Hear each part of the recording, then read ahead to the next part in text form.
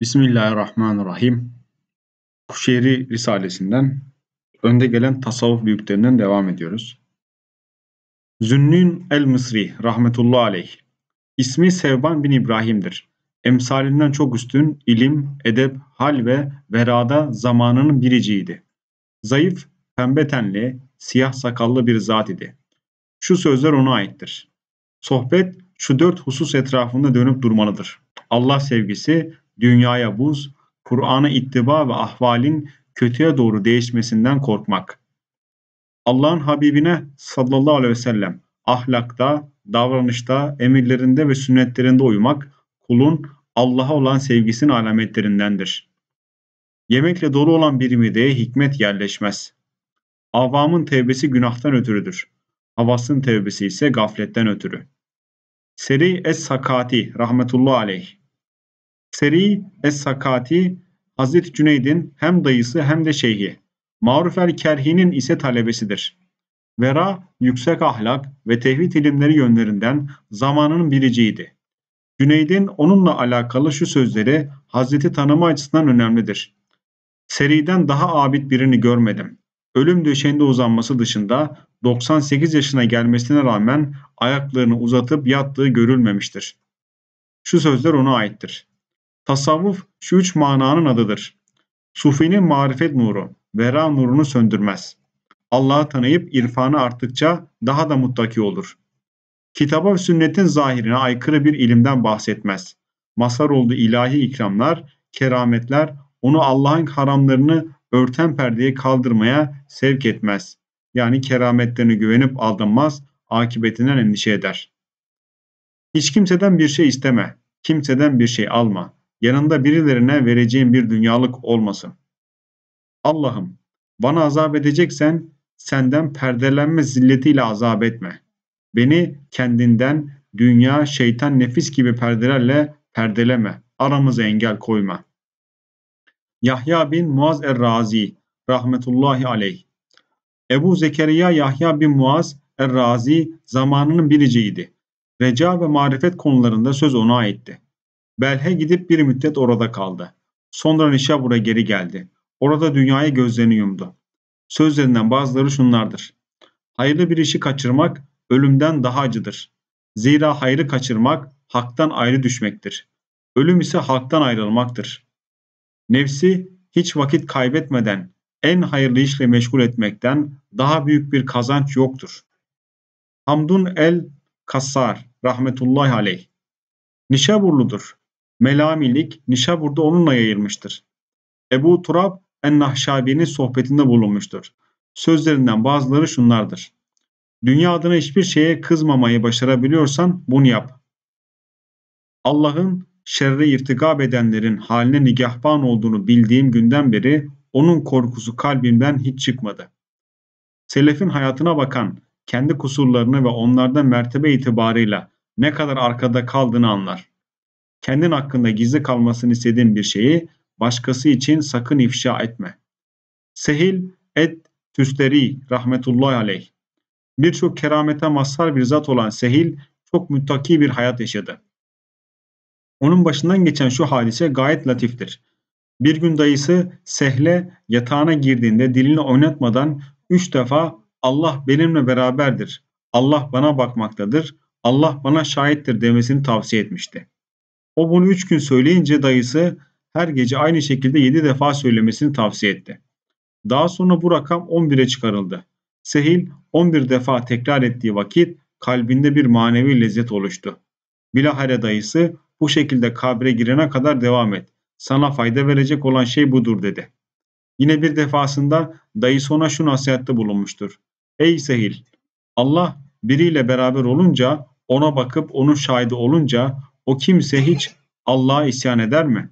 O halde sen de günah işlemekten uzak dur. Sehil şöyle demiştir. İster günah, ister sevap olsun. Kulun dinin kurallarına uymadan işlediği fiiller nefsin arzusunu tatminden başka bir işe yaramaz. Dine uyularak yapılan bütün işler ise nefis için azaptır. Yani nefsin hoşuna gitmese de onun hayrınadır. Ebu Said el-Harras rahmetullahi aleyh Bağdat'ta olup Zünnun el-Mısri, Seri es-Sekati, Bişir el-Hafi gibi büyüklerle görüşmüş, onların sohbetinde bulunmuştur. Zahiri ilme ters düşen her türlü batın, batıldır vecizesi ona aittir. Cüneyd bin Muhammed rahmetullahi aleyh Cüneyd-i Bağdadi namıyla meşhur olan Hazreti Cüneyd, Sufilerin imamı ve efendisidir. Aslen Nihaventli ile aslan aslen Nihaventli olup Irak'ta yetişti. Kendi mezhebinde fetva verecek kadar bilgiliydi. Biz bu tasavvufu dedikodu ile değil, lakin açlık, dünyayı terk ve alışılan ve hoşa giden şeyleri bırakmakla elde ettik. Sözü ona aittir. Cüneyd'in şu ifadeleri onun Efendimiz'e olan bağlılığını göstermesi bakımından manedardır. Allah Resulü'nün sallallahu aleyhi ve sellem çizgisini takip etmenin dışındaki bütün yollar insanlara kapalıdır. Kur'an ezberlemeyen ve hadis yazmayanlara tasavvuf yolunda iktida olunmaz.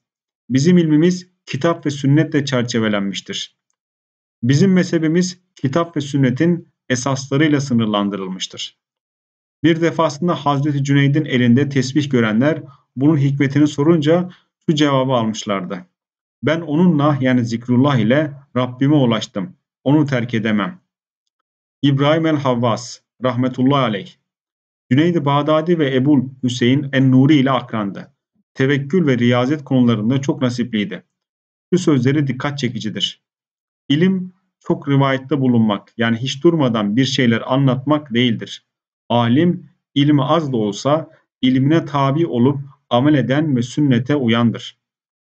Kalbin ilacı manasını düşünerek Kur'an okumak, az yemek, gece ibadet etmek, seherlerde yalvarıp yakarmak ve salihlerin meclislerinde bulunmaktır. Amr bin Osman el-Mekki rahmetullahi aleyh Usul ve tarikat ilminde Sufilerin imamı ve hak yolcularının şeyhiydi. Şöyle demiştir. Güzellik, çekicilik, yakınlık, ışık, benzerlik, nur, kişilik ve hayal gibi senin kalbine gelen ne kadar fikir ve hatıra varsa bil ki Allah ondan başka bir şeydir. Yani Allah tasavvur edilemez. Allah'ın şu sözlerini işitmiyor musun? Onun benzeri hiçbir şey yoktur.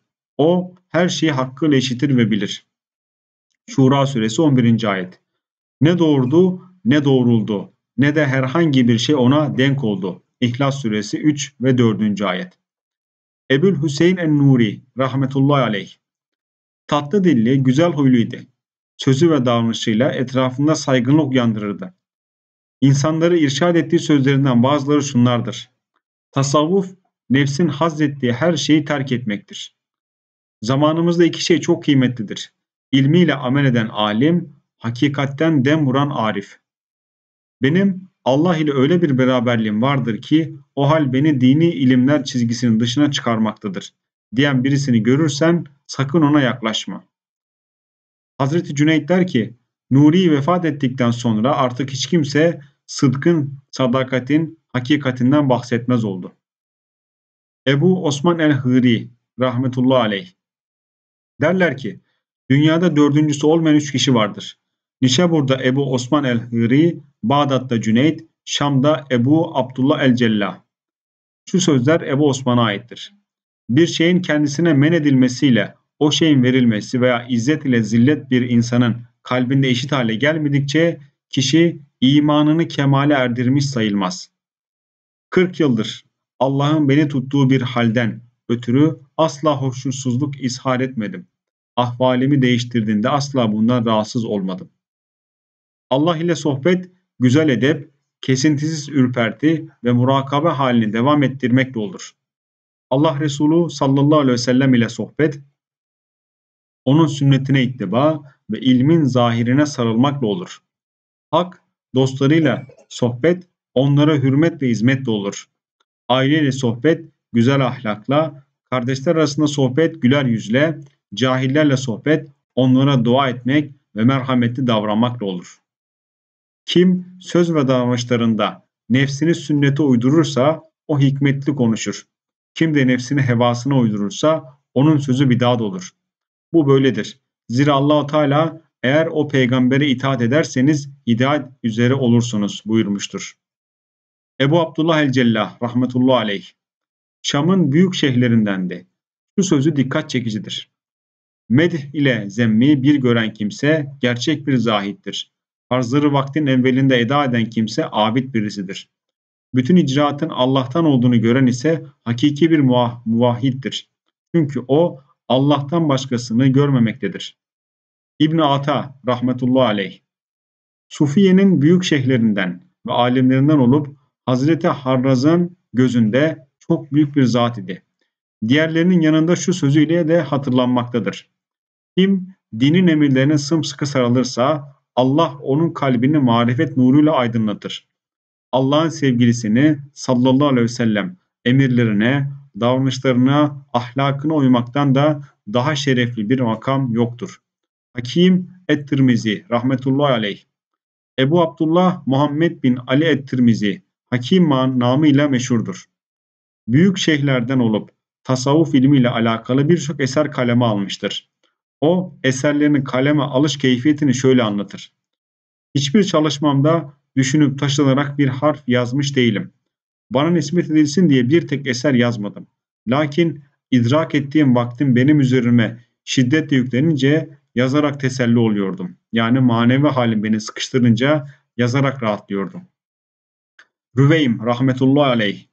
Bağdat'ın büyük şeyhlerinden olan Rüveym aynı zamanda kıraat alimiydi. Şu sözü önemlidir.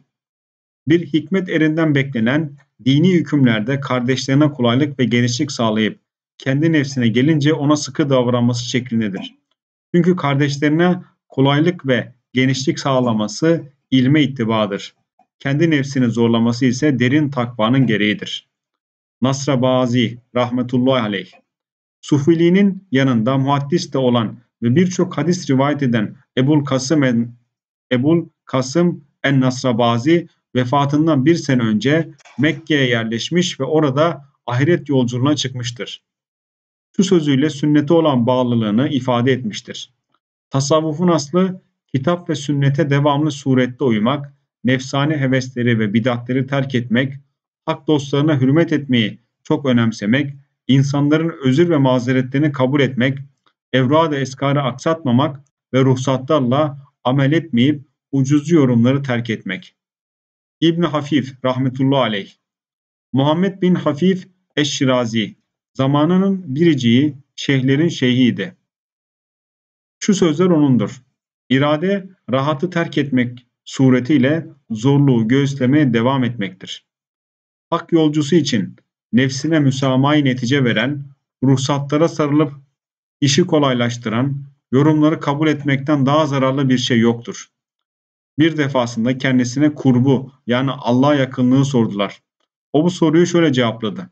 Kulun Allah'a yakınlığı, devamlı surette ona muvaffakat etmesi, Allah'ın kuluna yakınlığı ise her zaman onun yardımında olmasıdır. Elbette burada daha birçok hak dostunu zikredebilirdik. Fakat öyle yaptığımızda da çalışmamızın hacmi büyürdü. Bu yüzden bu kadarlıkla yetinelim. Zaten biz yeri geldiğinde bu zatlara ait güzelliklerden bahsedeceğiz.